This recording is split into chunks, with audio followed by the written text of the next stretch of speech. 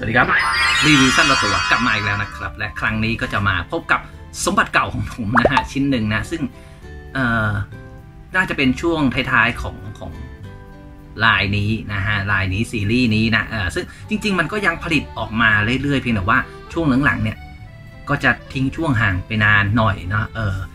ก็ไม่รู้ว่าเพราะอะไรนะอาจจะไม่มีอ่าซีรีส์ใหม่มาสมทบหรือว่ากระแสมันเริ่มจะ drop อะไรก็แล้วแต่นะฮะทำให้ การผลิตเริ่มที่จะชะลอตัวแล้วก็ทิ้งระยะห่างไปเยอะเหมือนกันนะครับ นั่นก็คืออันนี้จ้ะนี่ครับ Movie Realization นะครับผม อันนี้ก็คือซามูไร Kylo Ren นะฮะซึ่งไอบ้านเราเนี่ยอาจจะเรียกซามูไร Star Wars อะไรอย่างนี้นะอ่ามันจะมีช่วงหนึ่งที่แบบมันออกช่วงที่แบบมันออกแรกๆนะ มันก็จะแบบโอ้ถี่มากนะฮะ แต่ว่าพอมาช่วงหลังๆเนี่ยก็เริ่ม เริ่มจะห่างรู้สึกว่าอันนี้อันนี้จะออกมาตอนนั้น ใกล้ๆกันก็จะมี 2 ตัวก็จะมี Kylo Ren กับกัปตัน Phasma นะฮะ แล้วหลังจากนั้นก็จะเป็นช่วงของ Mando นะ มี Mando มี Boba Boba ที่เป็นเป็นอันใหม่เป็นซีรีส์อะไรนะ Book of Boba หรือเปล่านั่นแหละเอ่อตัวล่าสุดของ Mando ผมก็ไม่ได้จองนะฮะ ซึ่งอ่า Book of Boba ผมก็ว่ามันก็สวยนะอ่าโบบาตัวใหม่เดี๋ยวรู้สึกว่าสวยเลยแต่ว่าก็ก็ไม่ได้จองเพราะว่ารู้สึกเขาจะไปออกทางทางฝั่งอเมริกา เออมันไม่ได้ออกในฝั่งญี่ปุ่นนะฮะไปออกของฝั่งอเมริกา เราก็ไม่ได้ตามนะฮะซึ่งก็เนี่ยจ้ะอันนี้น่าจะเป็นช่วงท้ายๆที่ที่ผมได้ซื้อเพราะช่วงนี้ผมก็ไม่ได้ซื้อเลยนะผมได้ไอ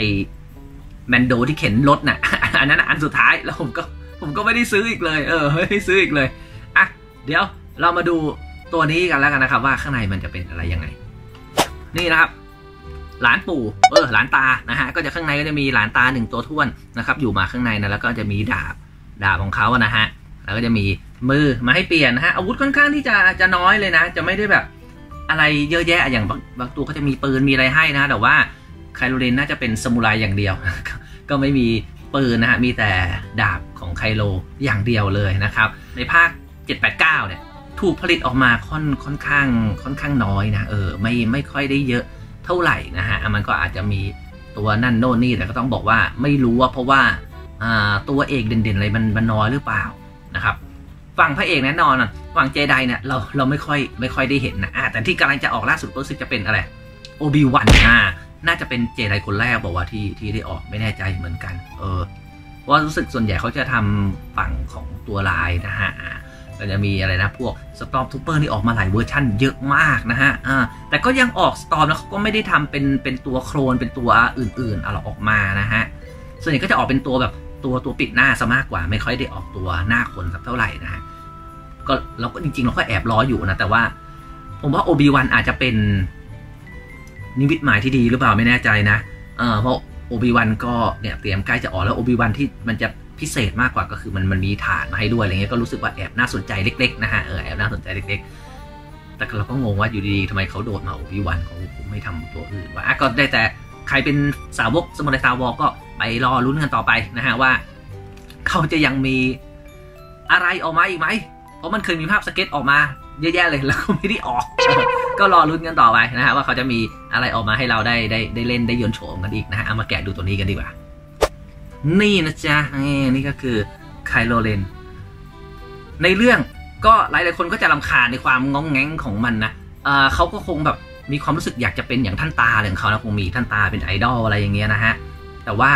ที่สุดแล้วก็ไปไม่ถึงนะฮะเราก็ยังรู้สึกว่าช่วงท้ายๆก็ยังแอบแอบถึงแม้ว่าจะมีการหักเหลี่ยมเฉียนคมแต่ก็ยังรู้สึกว่าไคโลก็ยังมีความงงแงงงงแงงอยู่นะแต่ว่าเอกลักษณ์ของเขาก็คือไอตัว ไลท์เซเบอร์ที่มันดูจะไม่ค่อยเสถียรเท่าไหร่เพราะว่ามันจะเสียงแล้วก็มันจะมีพุ่งๆออกมาข้างๆเลยนะ แต่ว่าอันนี้เขาก็จะทำพุ่งๆข้างๆออกมาให้มันมีแง่งตั้งขึ้นมาด้วยนะแล้วก็ไม่รู้ว่าแสงเลเซอร์มันพุ่งออกมาแล้วมันหักงออย่างนี้ได้ด้วยเหรอวะเออ ก็ไม่รู้เหมือนกัน เออเอออะมาดูจุดขยับของ Kylo กันนะครับ ว่าจะเป็นอย่างไรนะฮะอ่าคือตัวดีไซน์ออกมาเนี่ย มันก็มันมีความแบบ จะบอกไงอย่างที่บอกว่าเขาก็น่าจะทำให้มันแบบคล้ายๆ Darth Vader Vader มันจะผ้าคลุมมันจะคลุมทั้งตัวเลยบาดยาวเลยนะฮะอันนี้เขาก็เลยทำแบบผ้าคลุมออกมาข้างหลังอย่างนี้นะฮะแล้วก็ก็จะมีอ่าตรงผ้าคลุมข้างๆด้วยนะ ซึ่งอันนี้ผมรู้สึกว่าผ้าคลุมล่างนี่เหมือนเสื่อมากนะฮะตอนนั้นเราเอามาแรกๆเราก็มาล้อนะเออเอาเสื่อมานุ่งไว้ให้ไม่โคตรเหมือนเสื่อจริงแล้วมันทำผิว texture คือมัน ผมชอบลายนี้เพราะว่ามันมีการเก็บรายละเอียดนะแบบรอยผ้ารอยยับรอยย่นรอยอะไรอย่างเงี้ยนะเสื่อนี่ก็แบบทำละเอียดมากนะทำละเอียดมากแล้วมีการย้อมสีด้วยนะอ่าย้อมให้มันแบบ weathering นะให้มันดูมอมอนะฮะอ่าไงโอ้ขายซะเยอะใช่อามาดูจุดขยับนะฮะผมว่าก็อ่าได้ทั่วไปอ่าได้ทั่วไปครับมาดูที่ตัวตัวเนี่ยลายเนี้ยตัวเนี่ยเขาจะเป็นต่อนเดียวเลย คือคืออันเนี้ยต่อนเดียวเลยนะฮะ คือตั้งแต่คอลงมาชนตัวปุ๊บ แล้วก็จะไม่ได้แบ่งหน้าอกกับท้อง มันก็จะเป็น ชิ้นเดียวกันไปเลยนะฮะแล้วก็ขยับได้แล้วก็บิดป้ายบิดหน้าขยับได้ฮะแขนปั๊บยกขึ้นมา ยกขึ้นมา ยกขึ้นมา อ่า โชชโยอะโชชโย โชชโยก็จะได้ไม่ได้เยอะเพราะว่ามันติดตรงผ้าคลุมเนี่ยนะ ไม่งั้นก็อาจจะต้องเอาเอาผ้าคลุมออกแล้วเขาก็จะขยับได้มากขึ้นนะฮะ แต่พอมันมีผ้าคลุมเนี่ย อันนี้อันนี้มันจะเป็นแบบพลาสติกอ่อน ไม่ใช่ยางนะ อ่า ไอไอ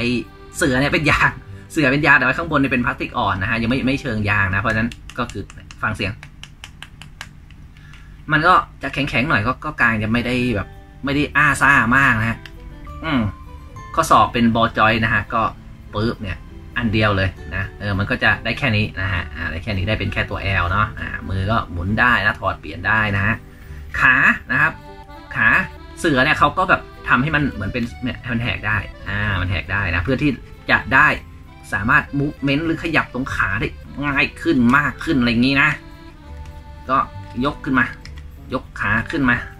ด้วยความที่มันติดนะ มันติดในอีนติดเนี่ยนะมันมีผ้าพลาสติกอยู่ข้างในอีกอีกอันหนึ่งนะฮะมันก็เลย มันก็เลยจะยกไม่ค่อยได้เว้ยยกไม่ค่อยได้อ่าแต่งอ งอกันนี่อ่า มันเป็นดับเบิลจอยนะฮะ ก็งอได้ประมาณนี้ เล่นหยิงหยิงปะได้ อ่ากางขา ก็ อ่า นี่ อ่า จริง ๆ ก็ได้เยอะกว่านี้นะ แต่ว่าก็ก็ทางทางมันชนไอ้เนี่ย ติดเสือเสือโอ้โห เป็นไงสังเสียงเท้าอึ๊บอ๋อนี่นะอ่าอ่ามันก็เป็นข้อต่อบอจอยเหมือนกันนะคล้ายๆตรงตรงข้อศอกกันนะก็ปิดได้ฟืดปื๊ดหมุนนี่อ่าหมุนได้นะฮะ ปลายเท้าอันนี้คือเท้ามาเท้าเป็นชิ้นเดียวเลยนะ เท้าเต็มๆมาชิ้นเดียวเลยนะ ไม่ได้แบบว่ากระดกปลายเท้าได้อะไรอย่างนั้นนะฮะ โดยรวมตัวเนี้ยรู้สึกว่าขยับได้ค่อนข้างที่ที่จะโดน fix เพราะว่าอย่างที่บอกว่าเนี่ยมันมีทั้งไอ้ไอเสื้อผ้าคลุมข้างบนผ้าคลุมข้างล่างอะไรอย่างนี้นะฮะ ดาบตรงนี้เนี่ยก็ดึงไม่ได้ ติดมาเป็น prop เป็น prop ดึงไม่ได้ติดมาเป็น prop เฉยเออ คือเอาจริงๆนะตัวเนี้ยเราเห็นดีไซน์ตอนแรกรู้สึกว่ามันเท่นะไม่ไม่ไม่ไม่พูดถึงบทเขาอะนะฮะ เรารู้สึกว่าเฮ้ย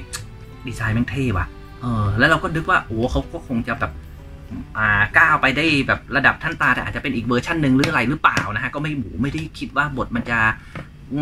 งอกง่อยกระต่อยหอยขนาดนั้นนะฮะไม่ได้คิดมันจะเป็นเด็กงอแงอะไรอย่างนั้นนะนะอะมาดูดาบนะครับ ดาบก็เขาจะมีมือแบบถือดาบมานะโอ้ก็เสียบเสียบเข้าเฉยเลย ปสับปสับปสับเข้าไปเสียบเข้าไปเสียบดาบนี่เสียบยากอย่างมึงนะนี่นะก็ได้มือถือดาบมานะ แล้วเราก็มาเปลี่ยนมือที่ตรงนี้อ่าเอถือดาบขึ้นมาแล้วฮะอ๋อดาบแดงด้วยเป็นไงดาบแดงแรงฤทธิ์อย่างที่บอกว่าตัวเนี้ยเออคือ original เนี่ยเรารู้สึกดีไซน์สวย พอมันมันเป็นตัวเนี้ย เออมันมันติดอยู่ตรงเราว่าเราว่ามันมันเทอะทะไอ้ตรงที่มันมีผ้าคลุมข้างล่างเนี่ยนะฮะตอนที่เห็นภาพโปรโมทเนี่ยเราก็แบบว่ามันก็ชั่งใจนะแต่ก็คิดว่าเอ้ยเดี๋ยวได้ของจริงมามันมันก็คงจะดูดีปรากฏว่าของจริงมาไม่เหมือนภาพโปรโมทจริงนะฮะเหมือนภาพโปรโมทมากและไอ้เสื่อเนี่ยมันก็เกะกะนะแล้วด้วยความที่เอ่อ weathering มาค่อนค่อนข้างที่จะเยอะนะฮะทีนี้ตรงช่วงผ้ามันก็เป็นสีน้ำตาลนะแต่เรื่องเรื่องสีก็ไม่เท่าไหร่หรอกแต่คือมันมันย้อมแต่ข้างล่างอะมันไม่ได้ย้อมมันไม่ย้อมจุดอื่นอะทีนี้พอมันย้อมแต่แต่ตรงสะโพกไอ้ตรง เสือเนี่ยมันก็เลยทำให้สีมันดูแปลกๆไปนิดนึงนะฮะแล้วก็ที่ไม่ค่อยปราบปื้มก็คืออย่างที่บอกว่ามันติดนั่นโน่นนี่แล้วมันก็ก็ขยับยากนะฮะเออ ตัวเนี้ยปกติอะซีรีส์เนี้ยเรารู้สึกเลยว่าเขาเขาดีไซน์ออกมาสวยทุกตัวนะฮะสวยทุกตัวมันทำให้อ่าอย่างแก๊งสตอมที่ออกมา มันทำให้Storm ที่ ดูเรียบๆเบๆธรรมดาแบบดูมีอะไรอะดูสวยดูมี character ดูเป็นพระเอกขึ้นมาได้นะในขณะที่อันเนี้ยเรารู้สึกว่า original มันเท่ดีนะ แต่พอมันมาทำอันนี้ปุ๊บเรากลับรู้สึกว่าอันเนี้ยมันมันไม่ค่อยว่ะ เออทำไมนี่เป็นตัวแรกเลยนะ เป็นตัวแรกแล้วเป็นตัวเดียวที่เรารู้สึกว่า original ดีกว่า original ดีกว่าอันนี้เออแต่ก็ตอนนั้นก็ก็ตั้งใจว่าอยากจะเก็บให้มันครบๆถ้ามันมีโอกาสนะ เพราะว่า ตอนนั้นก็ไล่ไอ้นี่ไม่ทันพวก SDCC IR อะไรนะแซนทูเปอร์อะไรพวกเนี้ยไล่ไม่ทันจริง ๆ แล้วราคามันมันโดดไปไกลมากนะฮะ ก็เลยอะก็ไล่ตามเก็บเท่าเท่าที่มันมีอะจนเนี่ยพอช่วงหลังปุ๊บมันไม่ออกฝั่งญี่ปุ่นเว้ยเราก็รอพีฝั่งญี่ปุ่นเนี่ยปรากฏไม่ออกมันไปออกแต่ฝั่งอเมริกาอะไรอย่างงี้นะฮะทามชิอเมริกาแล้วก็ก็เลย ไม่ได้ตามต่ออะไม่ได้ตามต่อแล้วหลังๆ ก็ราคาก็เอาเรื่องแล้วราคาก็เอาเรื่อง แต่ก็ยังคงเก็บไว้นะฮะตัวที่ ที่มีมีอยู่นะเออเดี๋ยวจะทยอยเอาออกมารีวิวแล้วกัน เพราะว่าถ้าจำไม่ผิดลายเนี่ยเราเคยเอาออกมารีวิวแค่แค่โบบาเฟตตัวเดียวเองมั้งเออโบบาเฟตตัวแรกที่ซื้ออะตัวเดียวเอง แล้วหลังจากนั้นพวกสารพัดสตอมอะไรก็ยังไม่ได้ทำรีวิวสั้นออกมาเลยนะฮะมีตัวนี้ตัวเดียว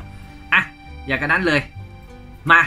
มาให้คะแนนกันเลยดีกว่านะสำหรับตัวนี้นะฮะก็อย่างที่บอกว่าไม่ค่อยประทับใจสักเท่าไหร่นะเพราะฉะนั้นเอาไปแค่อู้หูครึ่ง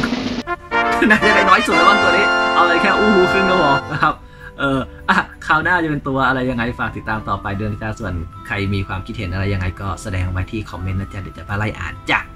ไปก่อนแล้วครับ สวัสดีครับ